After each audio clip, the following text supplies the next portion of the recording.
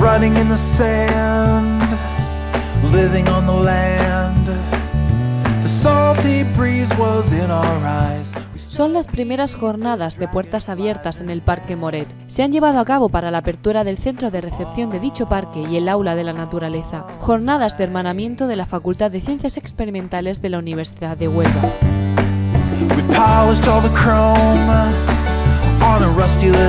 We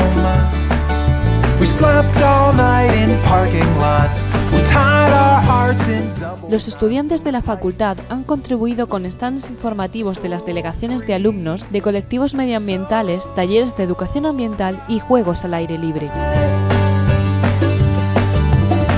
Pues nosotros estamos aquí reunidos porque se- desde nuestra Facultad de Ciencias Experimentales en la Universidad de Huelva, pues se nos ocurrió fomentar nuestras carreras más allá de lo que hacemos regularmente en las puertas abiertas, porque los chavales que van ya con el bachiller y casi para terminar, para conocer las carreras, pues ya van con la idea preconcebida de dónde quieren estar.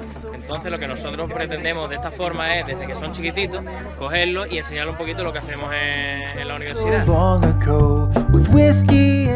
Actividades acompañadas de visitas de los centros educativos de Huelva para la realización y el disfrute de todas las posibilidades ambientales en un enclave privilegiado.